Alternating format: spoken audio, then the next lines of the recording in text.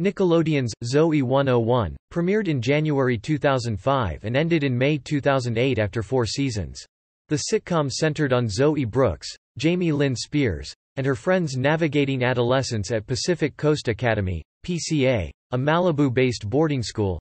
Nowadays, some of the cast members continue to act, but others have left the entertainment industry behind for the most part.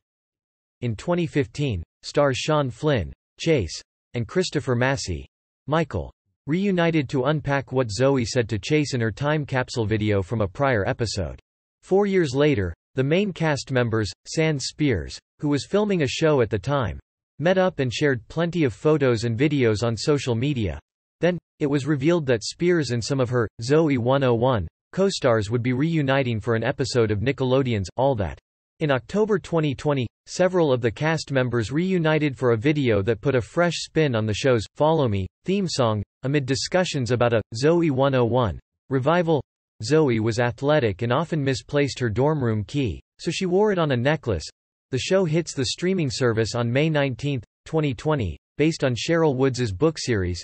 It got renewed for a second season in July 2020.